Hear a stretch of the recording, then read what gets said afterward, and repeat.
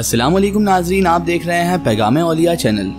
लाखों करोड़ों दुर्दो सलाम हुजूर पाक सल्लल्लाहु अलैहि वसल्लम पर और उनकी आले पाक पर।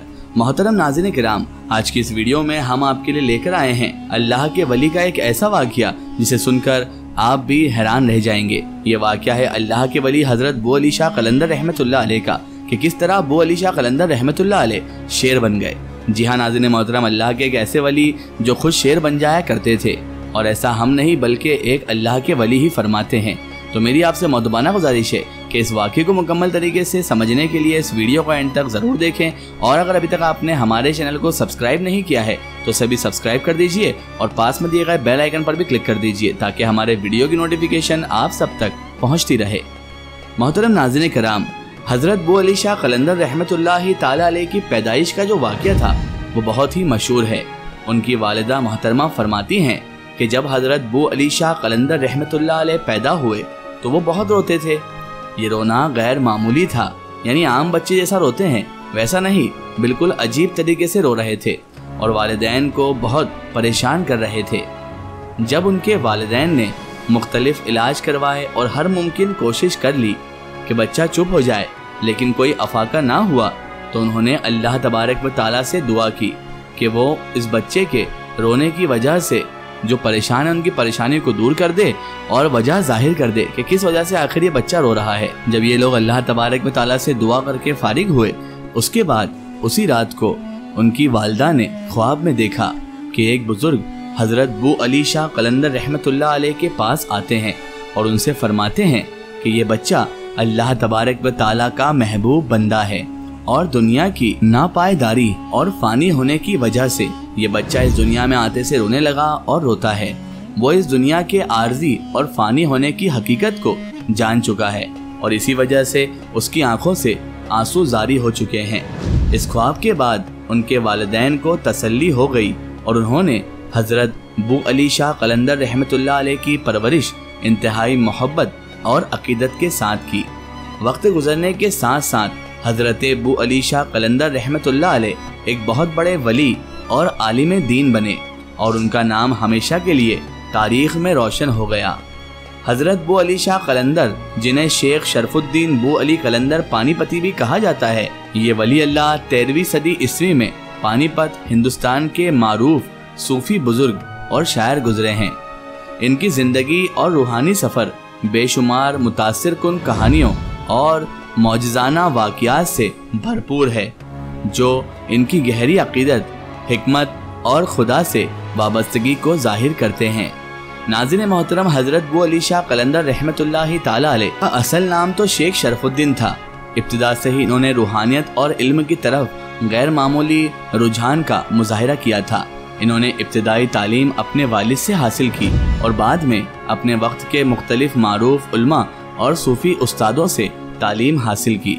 नाजिन मोहतरम हज़रत बो अली शाह कलंदर रहमत का इल्म इतना ज़्यादा था कि आपसे बड़े बड़े उल्मा भी सवाल जवाब करने में कतराते थे। नाजिन मोहतरम, इसके अलावा आपके बो अली नाम की वजह तस्मिया ये बताई जाती है कि आपने जब एक तवील अरसे तक पानी में रहकर इबादत की तो जब आप वहाँ से बाहर नहीं आ रहे थे तो अल्लाह तबारक व ताला ने एक नुरानी शख्स को वहाँ नमोदार कर दिया और क्योंकि वो अली शाह कलंदर रहमत की जिद थी कि अल्लाह ताला से वो चाहते थे कि मुझे वो अली बना दे। तो अल्लाह ताला ने फरमा दिया था कि अली तो एक ही है, दूसरा अली अब हो नहीं सकता। तो हज़रत बो अली शाह कलंदर रहमत ने फरमाया कि अब मैं यहीं खड़ा खड़ा फना हो जाऊँगा, लेकिन अपनी जिद पर से नहीं अटूँगा इसीलिए अल्लाह के वली हज़रत बो अली शाह कलंदर रहमत की जिद पर और अपने वली कामिल की मोहब्बत पर अल्लाह तबारक व ताला ने इनको बो अली का लकब अता फरमा दिया। यानी अल्लाह तबारक ताला ने फरमाया कि तुम्हें अली ना सही, अली की बू, यानी अली की खुशबू अता फरमा देते हैं। और तभी से आपका लकब बो अली शाह कलंदर हो गया। एक और रिवायत के मुताबिक, आप हज़रत बो अली शाह कलंदर रहमत जब पानी से बाहर नहीं आ रहे थे तो वहाँ पर एक नुरानी शख्स नमोदार हुए। एक नुरानी हस्ती नमोदार हुई और उन्होंने आपको उठाया और पानी से बाहर ले आए। जैसे ही बो अली शाह कलंदर रहमत को ये मालूम हुआ तो वो उन नुरानी हस्ती से कहने लगे कि आपने हमारी सालों की इबादत को ज़ाया कर दिया? आप जो कि नुरानी बुज़ुर्ग वहाँ पर नमोदार थे, उन्होंने पूछा, क्या तुम हमें जानते हो? तो हज़रत बोली, शाह कलंदर रहमत ने फरमाया, हम आपको नहीं जानते। तो उन बुज़ुर्ग ने फरमाया, मैं अली इबन अबी तालिब हूँ सुबहान अल्लाह और इसी वजह से हज़रत बो अली शाह कलंदर का नाम बू अली पड़ गया। बहरहाल नाजिन मोहतरम वैसे तो सरकार बो अली शाह कलंदर रहमत की बेशुमार करामातें इस दुनिया फ़ानी में लोगों ने अपनी आँखों से देखी और कई मुस्ंद किताब भी इन करामातों से भरी पड़ी है। लेकिन आज की जो करामत है, वो बड़ी ही अजीब गरीब है। बयान किया जाता है कि शेख जलालुद्दीन रहमत ताला एक मरतबा हज़रत शेख शरफुद्दीन बू अली शाह कलंदर रहमत से मुलाकात की गरज से पानीपत तशरीफ़ ले आए और आप रहमत ताला की मुलाकात की गरज से वहाँ पर आ गए। अभी आप हज़रत शेख जलालुद्दीन रहमत रास्ते में ही थे। तभी उनके रास्ते में एक खौफनाक शेर, बब्बर शेर आ गया। अल्लाह अकबर। शेख जलालुद्दीन रहमत ने जैसे ही खौफनाक शेर को देखा तो फरमाया, ए शेर, ये अल्लाह तबारक ताला के आशिकों का मुकाम है। यहाँ पर तेरा आखिर क्या काम है? शेख जलालुद्दीन फरमाते हैं, जैसे ही मैंने शेर से ये कहा तो वो शेर दौड़ता हुआ हज़रत बो अली शाह कलंदर रहमत के हुजरे की जानब उनकी आरामगाह की जानब चल पड़ा। हज़रत शेख जलालुद्दीन रहमत ताला भी उस शेर के पीछे पीछे हज़रत बो अली शाह कलंदर रहमत के हजरे की तरफ़ रवाना हो गए। आगे जाकर शेख जलालुद्दीन क्या देखते हैं कि चार और शेर भी हज़रत बो अली शाह कलंदर रहमत के हजरे की तरफ़ ही जा रहे हैं। ये मामला देखकर हज़रत जलालुद्दीन रहमत को थोड़ी दहशत महसूस हुई। मगर अभी कुछ ही आगे बढ़े थे तो शेख जलालुद्दीन क्या देखते हैं कि हज़रत बो अली शाह कलंदर रहमत खुद उनके पास तशरीफ़ ले आए और फरमाया जलालुद्दीन, आप हमारे राजदारों में से हैं। आइए, आपको हम शेर का तमाशा दिखाते हैं। चुनानचे हज़रत जलालुद्दीन रहमत जब बो अली शाह कलंदर रहमत के साथ गए तो उन्होंने देखा कि चारों शेर तो आपस में खेल कूद रहे हैं। मगर जैसे ही उन्होंने बू अली शाह कलंदर रहमत को देखा तो वो तमाम तर शेर उनके कदमों में पालतू बिल्लियों की तरह लौट लगाने लगे। हज़रत जलालुद्दीन रहमत ने हज़रत बू अली शाह कलंदर रहमत से पूछा कि, हज़रत, यहाँ पर पाँच शेर थे।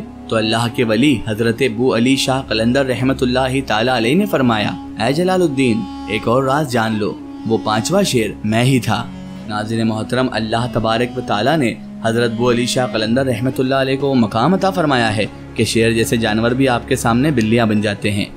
वल्लाम बिसवाब आखिर में अल्लाह तबारक व ताला से यही दुआ करते हैं कि अल्लाह ताला रसूल खुदा सल्लल्लाहु अलैहि वसल्लम के सदक़े हमें नेक राह पर चलने की तोफ़ी किता फरमाए। हमें हर बुरे काम, हर बुरे अमाल से हमेशा बचाए रखे और मुस्तकीम के नेक रास्ते पर चलने की तोफ़ी फरमाए। और हमें तमाम तर अम्बिया कराम, तमाम तर अलिया कराम और तमाम बुजुर्गान दीन के चाहने वालों में शुमार रखे और उनका दिल से अदब व ताज़ीम करने की भी तोफ़ी किताब फरमाए।